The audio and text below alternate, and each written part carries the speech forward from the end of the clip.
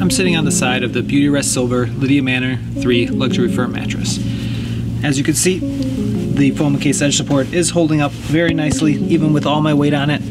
So it's just a nice feature to note if you like to sleep right at the edge of the bed, you'll be able to do so knowing that you're not going to be damaging the sides. Laying on my back, it's a pretty comfortable feel.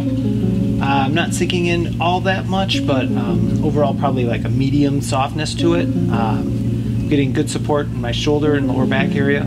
So if you have my body type, you'd probably sleep pretty well on your back on this one. On my side, um, it's again kind of the same story. I'm getting good support in my lower back and shoulder area. Um, it does feel like my neck is turned back slightly towards the bed, uh, indicating that my spine's not quite properly aligned. But if you had a pillow under your head, uh, you'd probably be just fine sleeping on your side on this one. So overall, um, if you sleep on your stomach, this mattress, it's, it's probably going to be up to you if you feel comfortable sleeping on your stomach or not. It's right in the mid-range for comfort for me anyways, so I would say maybe a good mattress for a stomach sleeper, but for a back and side sleeper, this is definitely a nice one for you if you like a medium to medium soft feel. We hope this video was helpful, but if you do have any other questions, please feel free to reach out to us. We can be contacted at 1-800-455-1052. You can leave us a comment below, or you can reach out to one of our chat representatives during normal business hours.